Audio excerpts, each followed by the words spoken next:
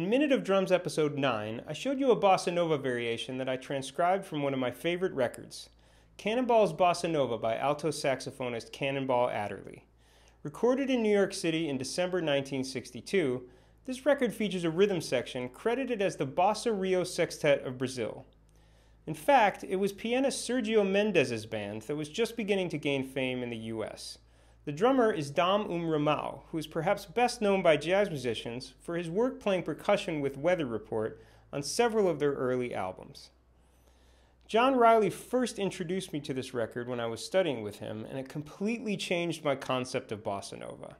The revelation bossa nova is not a set beat that you play on the drums, but a style of music influenced by jazz and with many of the same sensibilities.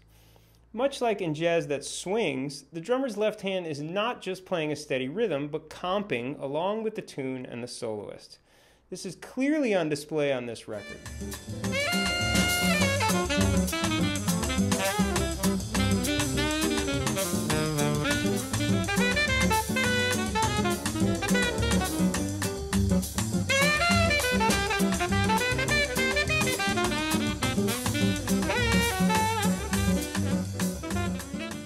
Hear what I mean?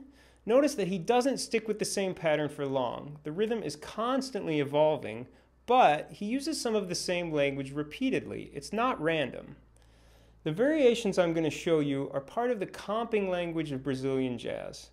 None are one groove solutions to playing a whole song, but variations that you can weave together. Before we get into some other cross stick variations, let's talk about the other parts. But wait, a quick side note about notation. Outside of Brazil, we often see these songs and rhythms notated in 4-4 with eighth notes. However, in Brazil, they prefer to think of them in 2-4 with 16th note subdivisions.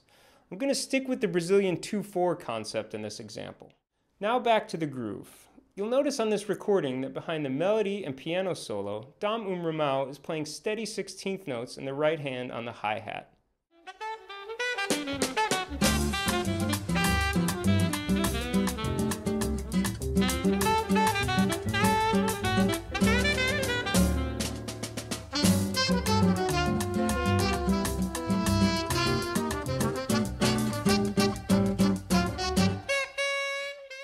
Then for the alto solo, he switches the right hand to the ride and plays the hi-hat with the left foot on the ands if we are thinking in 2-4.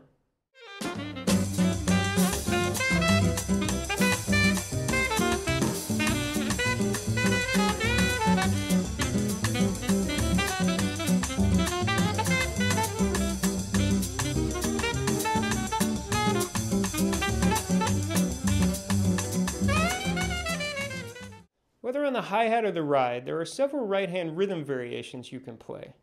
For this lesson though, we're going to stick with what's on the record. Steady sixteenths on the ride and the hi-hat on the ands.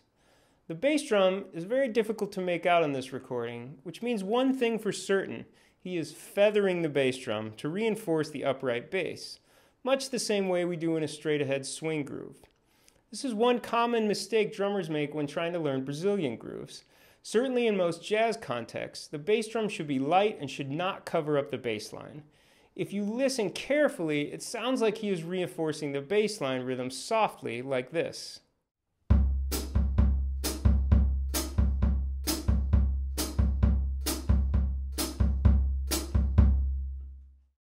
When that sounds too busy, you can drop the pickup notes and just play quarter notes with a slight accent on the second note.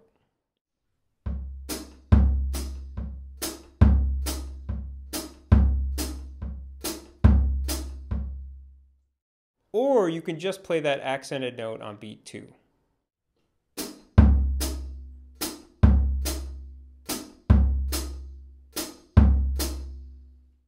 When I first saw the great Brazilian drummer Edu Ribeiro play, I noticed that he would often use all three of these bass drum variations within the same song. In a section of the song that felt more open or relaxed, he would play either quarter notes or just beat 2. Then he'd bring in the full pattern when the song needed more energy. These are subtle variations that can have a huge effect on the music. Be sure to practice these cross-stick patterns with all three. Now back to the cross-stick patterns. Another home base pattern that Dom Um Romão frequently plays on this song is a cross-stick rhythm that you'll probably recognize as the three note side of the standard bossa nova rhythm. This actually comes from a different Brazilian rhythm called baião, a simple one measure pattern that just about always works on a Brazilian jazz tune. I'll demonstrate it first slowly and then at the tempo of the record.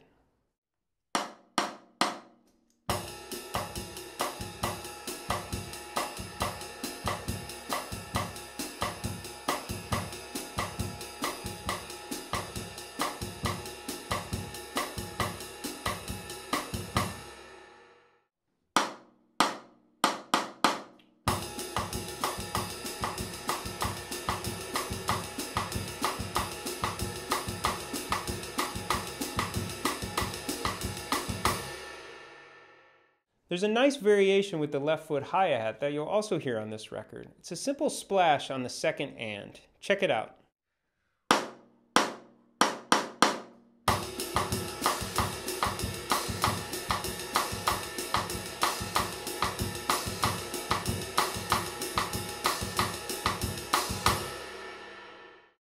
There is also another cross-stick pattern that you'll hear repeated frequently on the record.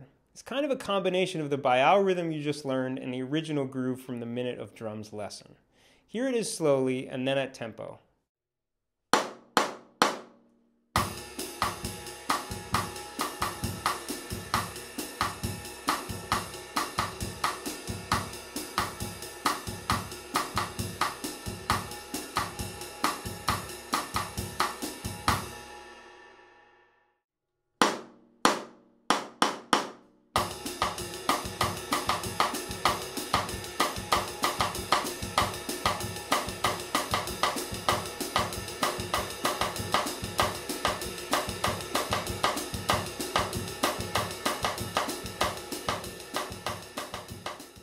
Now that you know the main variations Dom Umramau plays here, go back and listen to the entire recording and see if you can pick them out.